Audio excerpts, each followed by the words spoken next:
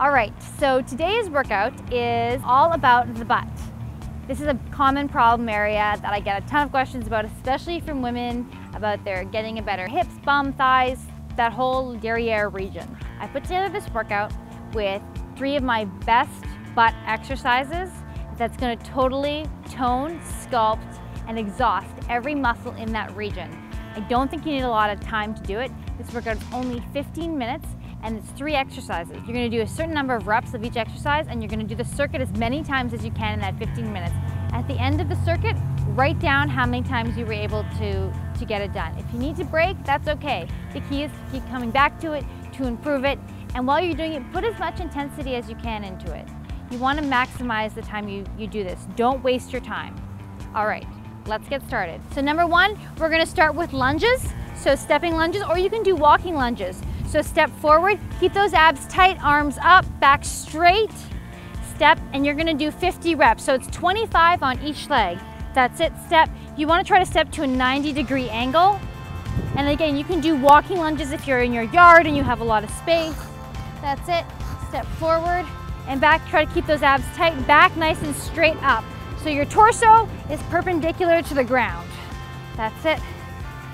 This works some of the biggest muscles in your body, so you're gonna get an extra calorie burn here. That's it. And nice work. So next exercise is squats. We're gonna do 50 squats. So squat down and up. Those squat down and up. You wanna go as low as you can to as high as you can. Low like you're sitting back in a chair. Squat low, bring it up. Squat low, bring it up. You, again, you wanna contract that core so you're nice and tight and you're gonna start to really feel the burn. The slower you go, the more you feel the burn. That's it. Nice job, Kaylie. Squat all the way down and up. That's it. Looking? good. And three more, two more, and one more, and back extension. So you wanna come right on your bellies. You might want a yoga mat or a towel for this if you're outside. And you're just gonna extend up. So lift your chest and lower, and lift and lower. And if you want a little added advancement, you can lift your legs with your chest. So feet and chest, up and down, as high as you can and back down. Up 25 reps.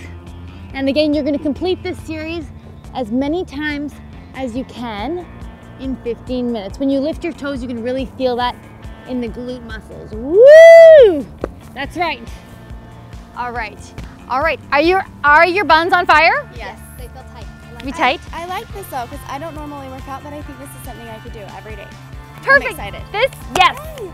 This is something we can do, and it only takes it only takes 15 minutes. Literally, if you want to work a certain area like that, you don't need more than 15 minutes. You don't have to spend an hour in the gym working your bum.